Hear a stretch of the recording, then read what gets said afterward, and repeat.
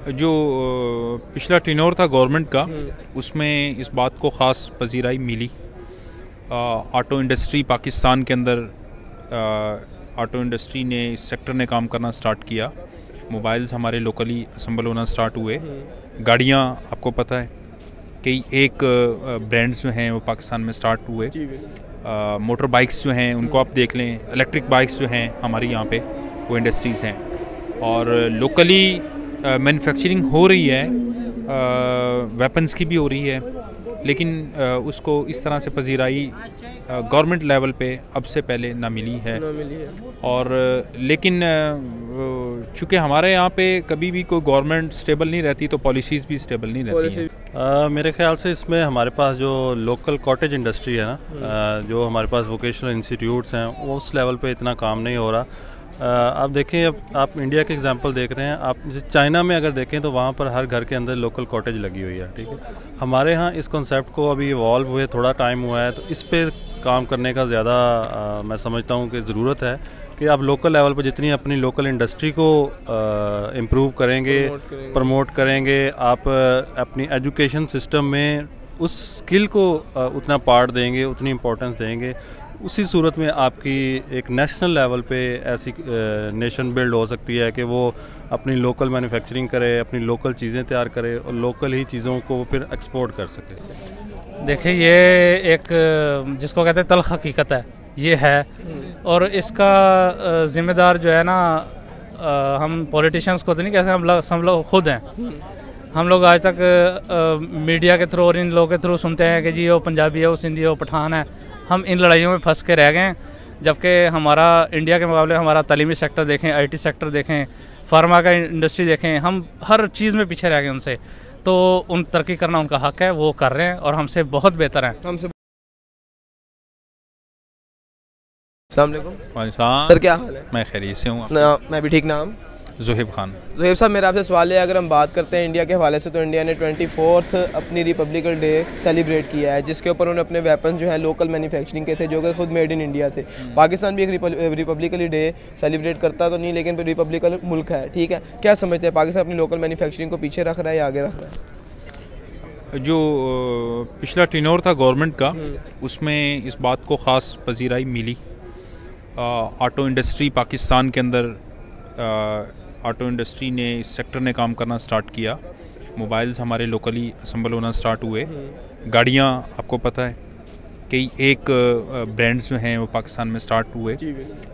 Motor bikes जो हैं उनको आप देख लें इलेक्ट्रिक बाइक्स जो हैं हमारी यहाँ पे वो इंडस्ट्रीज़ हैं। और लोकली मैन्युफैक्चरिंग हो रही है वेपन्स की भी हो रही है। लेकिन उसको इस तरह से पजीराई गवर्नमेंट लेवल पे अब से पहले ना मिली है।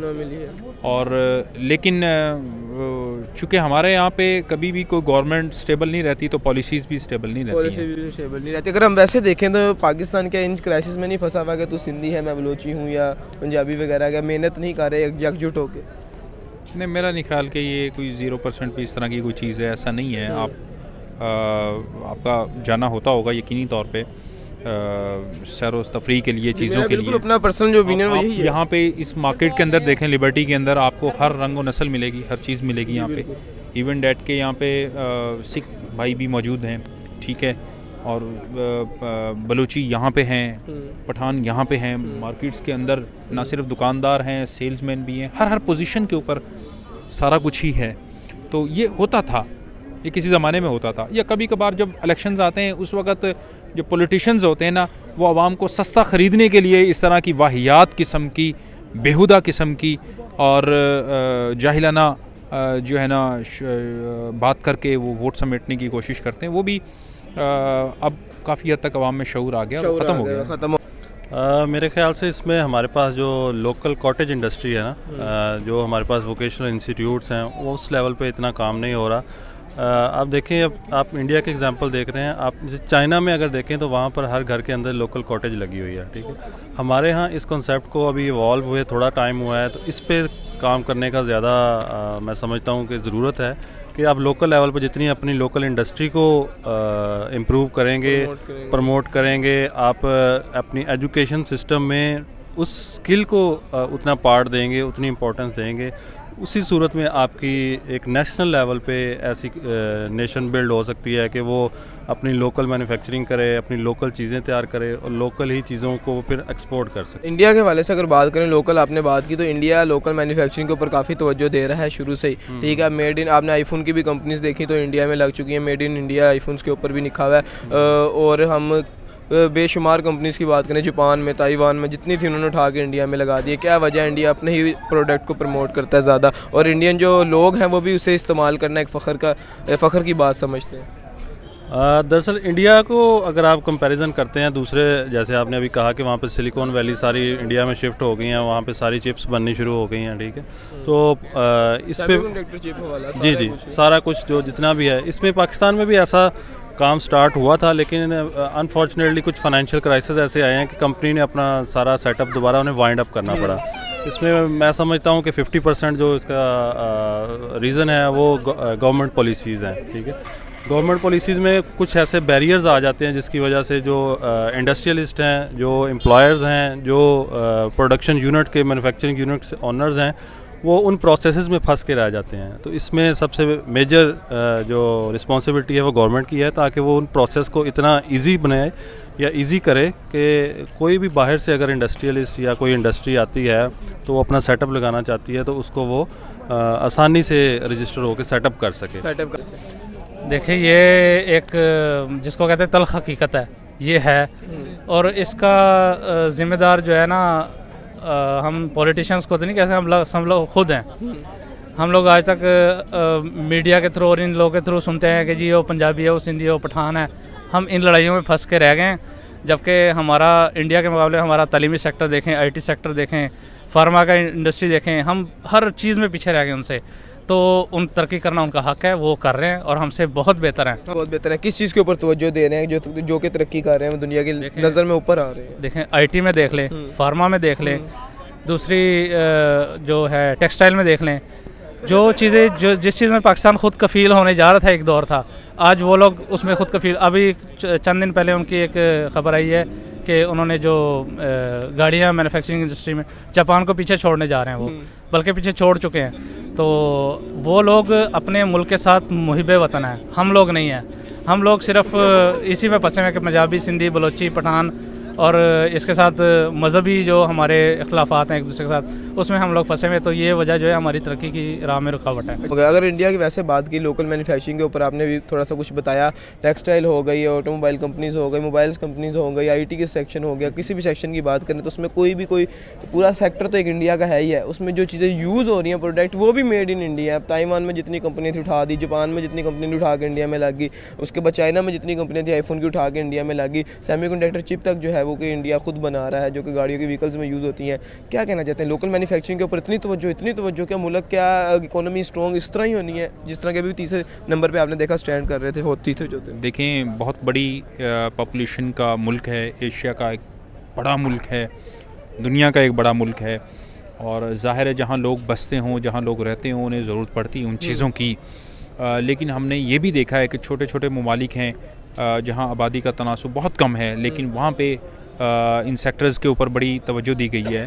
और इसी तरह से इंडिया की गवर्नमेंट ने मुझे वो बार बार ये बात याद आती है जब मोदी जी ने कहा था कि आओ जंग करते हैं और जंग करते हैं गुर्बत के ख़िलाफ़ अपनी आवाम को सुधार लाने के लिए। तो वाकई उन्होंने सिर्फ़ वो बात नहीं की थी उस वक्त। उस पर इम्प्लीमेंट भी किया गया था। वो एक पॉलिसी दे दी थी कौम को और कौम भी और गवर्नमेंट भी उसके ऊपर लग गई। लग गई। तो देखें पॉलिसी देनी पड़ेगी। आप देखें हम अल्लाह ने पाकिस्तान को भी एक लीडर दिया इमरान खान साहब और उसने भी एक सोच रखते थे। जब तक आपके पास सोच नहीं होगी आप कैसे अपने आ, मुल्क के अंदर उसको पॉलिसी दे सकते हैं? खान साहब ने कहा था कि पालो कट्टे क्यों नहीं पालते? क्या आ, मीट जो है वो दुनिया के अंदर एक्सपोर्ट नहीं होता है? होता है पाकिस्तान से होता है। वो नॉलेज रखते थे इस बात का उन्हें मालूम था। वो उनकी स्टडी है। उन्हें मालूम है कि किस किस कंट्री को कहाँ क्या कुछ चाहिए। कौम उसका मज़ाक उड़ाती थी। वो कहते थे यहाँ बारह मौसम है। तो बारह मौसम तो हमें तो चार मौसम पढ़ाए जाते रहे। बारह मौसम थे हैं। मतलब कौन इससे इनकारी है आपका हर महीना दूसरे महीने से क्या मुख्तलिफ़ नहीं है मुझे बताएँ? क्या दिसंबर और जनवरी में फ़र्क नहीं है। है ना? तो यहाँ पर जब इतना सब कुछ मौजूद है उन्होंने एज़ कंपेयर टू किया था कि एक जगह ऐसी है जहाँ सिर्फ़ बर्फबारी हो रही है। कुछ कंट्रीज़ ऐसे हैं लेकिन वो भी कंटिन्यू अपने काम कर रहे हैं दुनिया में राज कर रहे हैं। तो हम जब हमारे पास अल्लाह ताला की दी हुई तमाम नेमतें मौजूद हैं तो क्यों नहीं ये अच्छा एक अमीर जो है वो पोल्ट्री का काम कर सकता है।